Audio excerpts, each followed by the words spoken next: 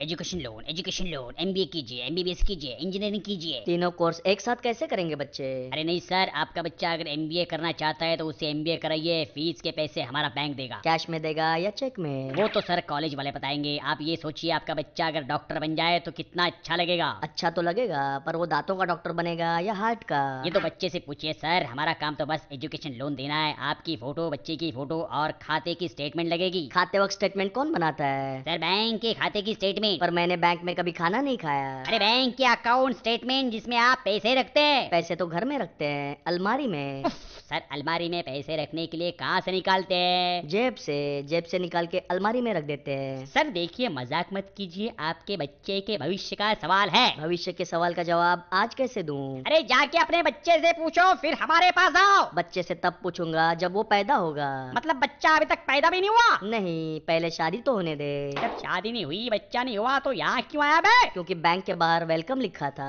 अबे मैं कुएँ में वेलकम लिख दूँगा तो कुएँ में कुछ जाएगा क्या? कुआँ तेल वाला होगा कि पानी वाला? अब ये कैसा आदमी गले पड़ गया सुबह सुबह? तेरे गले में नहीं टाई पड़ी है। अगर तू पाँच मिनट में नहीं गया तो मैं इसी टाई से अपना गला घोट लूँगा। गला घोटेगा तो सांस कैसे लेगा?